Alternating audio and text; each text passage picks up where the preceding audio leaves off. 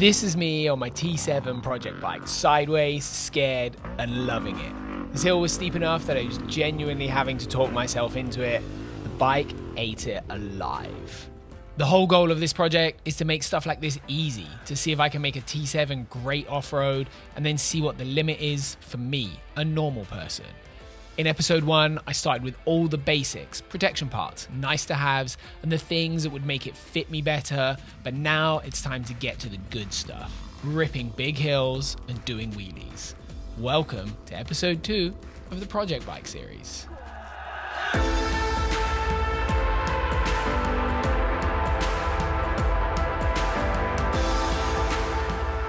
In this episode, the idea is that we're going to change the fueling by adding a fuel controller and then change the power by adding an exhaust with that fuel controller and doing it sequentially to see what the difference each of those products makes and what happens to the Tenere when you do that. My chosen fuel controller is the Rapid Bike Evo by Dimsport. It's a fuel controller with a little extra power.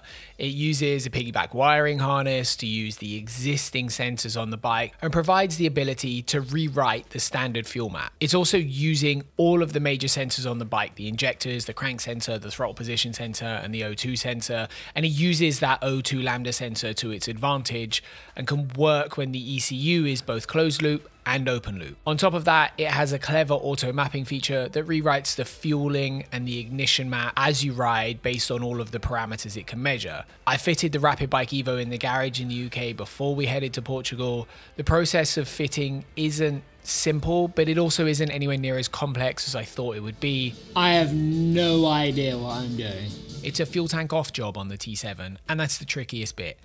Getting the Rapid Bike's wiring loom fitted up was surprisingly easy. All of the wires are labeled and the connectors match up with the original connectors. You need a place to house the ECU itself, and it also wires up to the battery for power. I was pretty intimidated by this job, but fortunately, the instructions are really clear. I hadn't done any work to this depth on the T7, but the whole process took about an hour to do while ambling around the garage with a camera. The trickiest part is without doubt the tank removal and fitting. The actual process itself isn't difficult, it's just got a ton of bolts that are all different, and remembering where they go was hard for my brain. If you're a more competent mechanic than me, you could probably do it in about half an hour. I'd give it a 3 out of 5 on Revzilla's beard scale. So this is my first time riding this bike since I have made the majority of the changes to it. One of the things I have found with the Tenere 700 in the past when I've ridden it is that I find it to be a bike that is quite finicky when it comes to setup. The, the better you get the balance of the bike, the, the better it works essentially. So it'll handle much nicer on the road, it'll handle much nicer off road if the front to back balance is right. And if that's out, it really doesn't deal with it well. And like any bike, getting the riding position dialed in, getting the controls in the right position for how everything works makes a really big difference. So that's what we're going to try and do today. We came to Portugal for the sun, but it is, it's just started raining and I'm a bit confused.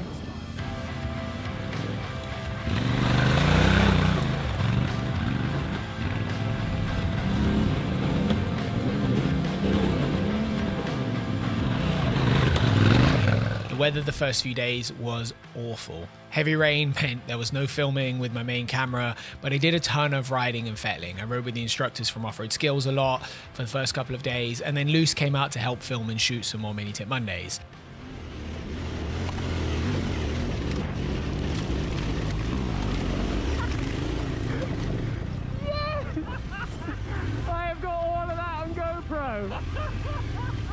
Along the way, I worked on suspension settings, balance, and getting the clutch arm from Alt Rider working well so that the bike was good.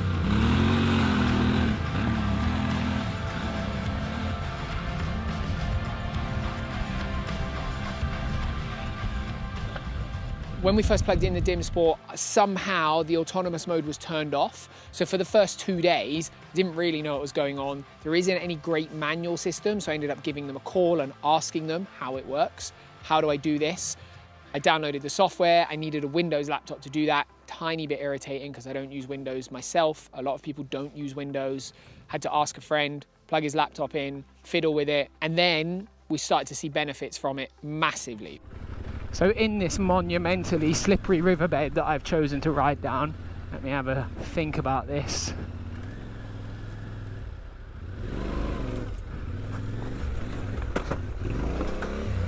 Woo! I finally got it into the right mode and immediately it started to change the characteristics of the bike, the way it's fueling. This is so slow, slippery as hell. The problem is when you need a dab in here, it's so bloody slippery.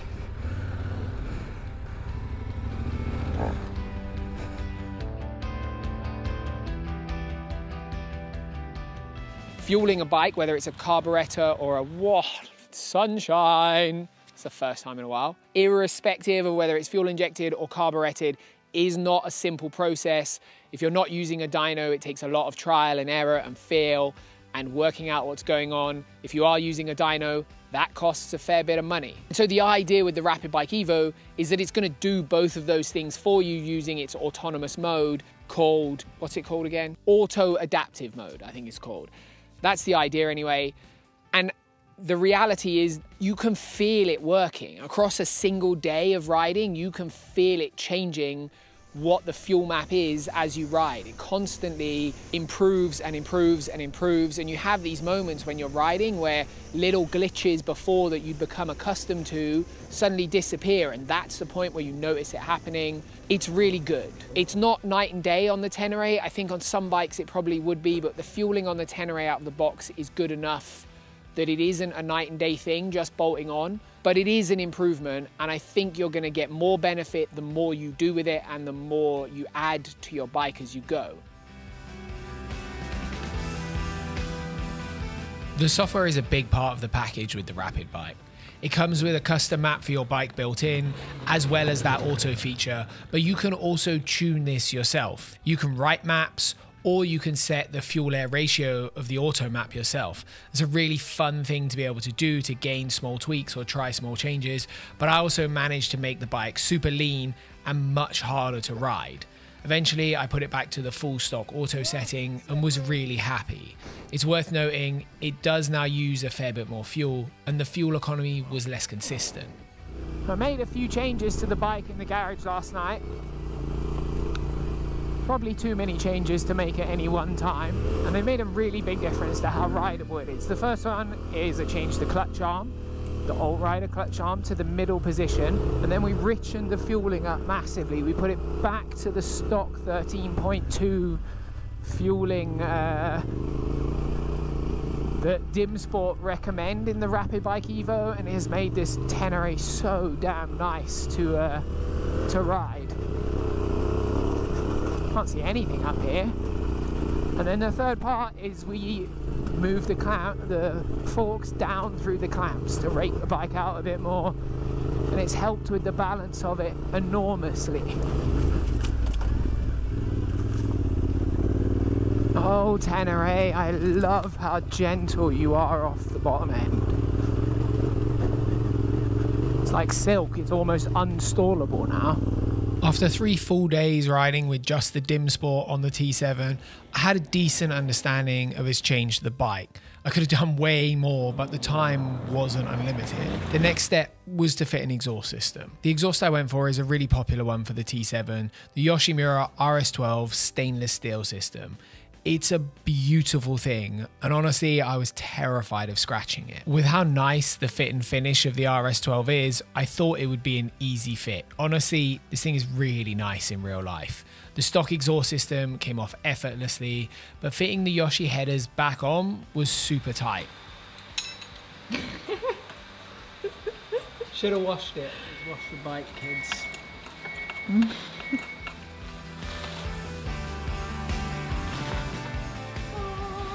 Classically trained in exhaust pipes. Oh. When I was trying to mount the header pipes up, they were too close together, so I had to spread them apart with a fair amount of force to get them to mount up to the engine. Once they were on, everything else fitted up and lined up exactly. The whole fitting process was about 40 minutes, with a good chunk of that involving confusion as to how to get the headers into place. I'd give it a 2 out of 5 difficulty. Over the next four days, I rode the bike a ton more and learnt a lot about it. I tested the Rapid bike and the Yoshi together at different air fuel ratios. I went quite lean and it became aggressive, peaky, and tricky to ride. It was fun, but it needed way more skill than I have. You can see this in this clip as I struggled not to spin the rear wheel. I always ended up back at 13.2 as the best setting, and with the two products together, honestly, it's something special to ride. The idea with this exhaust system is that it's going to give us a chunk more power and a chunk more torque on paper, but I think in reality, what it's given us is something a little bit different. It is a really really nice product. They have done a really good job with how it changes the power characteristics of this bike. I think the power characteristics of the Tenere are already really good. It does two major things for me. The first one is it makes everything a bit smoother off the throttle, on the throttle. The character of the engine has changed a little bit, so it's a little bit more linear, a little bit smoother, but it's also strong. And both of those things together have kind of woken the bike up a little bit. It's just a really pleasant upgrade. And I kind of thought this would be the type of upgrade that you would only do if you wanted to really make your Tenere come alive. But Actually, I think I would make this mod to this bike if I use this as a touring bike, as a weekend riding bike, because of how it changes the performance and how it makes it a nicer road bike as well as a nicer off-road bike. It's given a bit more pep, a little bit more liveliness, but it hasn't added any aggression at all. The only thing of note, and this is totally on me, is that I forgot to bring the sound baffle with us, and it's loud. It's not obnoxious, but it is not quiet. It sounds like a rally bike. I'd put it in the region of 98 to 100 decibels. The Tenere already is not that quiet of an adventure bike, and now it's got a nice bark to it, but it is a bark.